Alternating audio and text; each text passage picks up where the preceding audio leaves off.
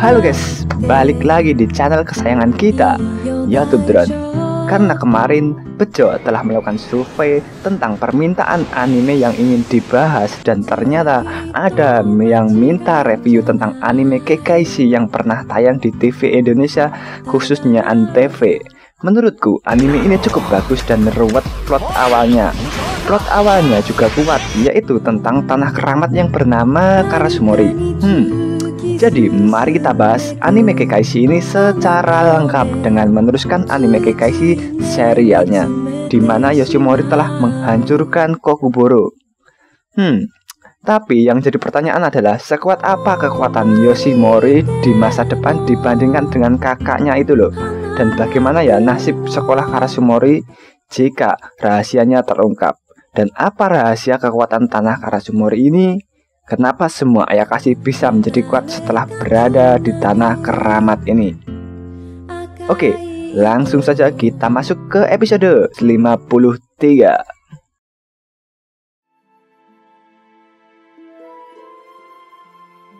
Sebulan setelah penyerangan di Koguboro berlalu, seperti biasa, sekolah Karasumori yang mempunyai kekuatan goib yang cukup besar masih membuat para ayakashi tertarik untuk mendapatkan kekuatan lebih jika berada di Karasumori.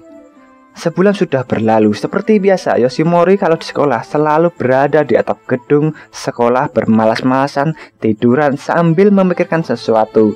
Tapi kali ini dia memikirkan bahwa kepekaan kekuatan indranya semakin tajam saja setelah peperangan di Koguboro.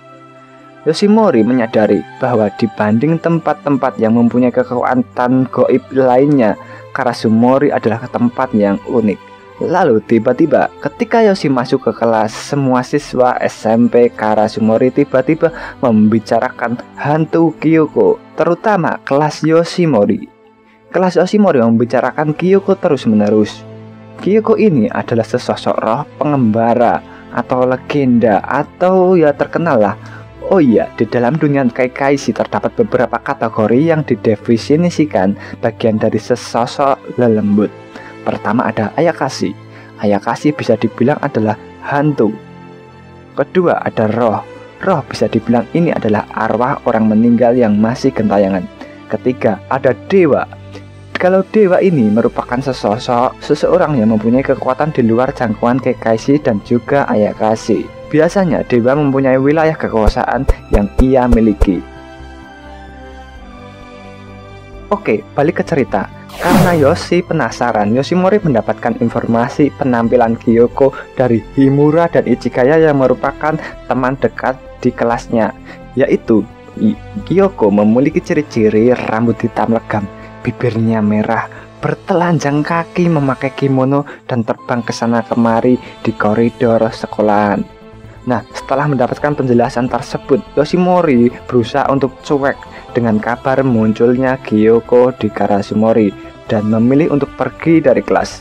Tapi, karena Yoshimori masih penasaran, tiba-tiba Yoshimori merasakan sesuatu yang aneh.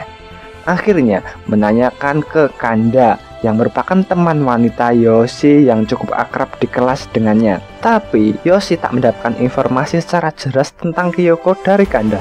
Hmm, yang Yoshimori dapat cuma jika Kyoko ini muncul, dia akan mengatakan sebuah kebenaran. Nah, setelah itu karena Yoshi tak dapat informasi secara jelas tentang Kyoko dari Kanda, Yoshimori pun kembali ke kelas. Tapi anehnya ketika Yoshi melihat Himuro dan Ichigaya, ada hal yang aneh terjadi. Penampilan Himuro dan Ichigaya dan semua siswa kelas Yoshimori tersebut merubah gaya rambutnya menjadi belah samping dan meminum kopi susu botol yang Yoshimori sukai. Nah, di sinilah mulai keanehan bermunculan yang membuat Yoshimori risih dan bertanya-tanya apa yang terjadi. Yoshimori pun teringat sesuatu ketika dia sedang tiduran di atap sekolahan dan menyadari bahwa Kyoko muncul tidak mengatakan kebenaran tetapi membuat kebenaran menjadi kenyataan. Teng teng teng. Bel pulang berbunyi. Sepulang sekolah, Yoshimori diajak pulang bareng oleh Himura dan Ichigaya. Tapi Yoshimori beralasan untuk menolaknya karena akan mencari Kyoko dulu. Tetapi setelah berjam-jam mencari Kyoko ke sana kemari dan hasilnya zong.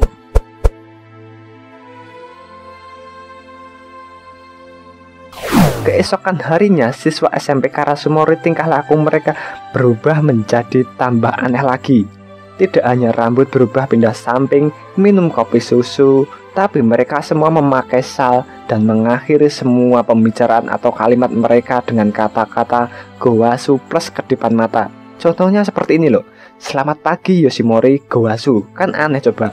Bayangkan jika saja temanmu di kantor atau kelas semua kalimatnya di akhir kata Gowasu atau kata yang sama setiap pembicaranya. Hmm, karena aneh kayak gitu.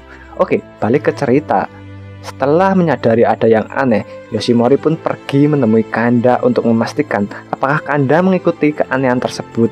Tapi ternyata Kanda juga melakukan hal-hal aneh tersebut. Cuma berarti kelas Tokine saja yang tidak melakukan hal aneh yang berarti separuh siswa di Karasumori sudah dihalu oleh Kyoko. Hmm.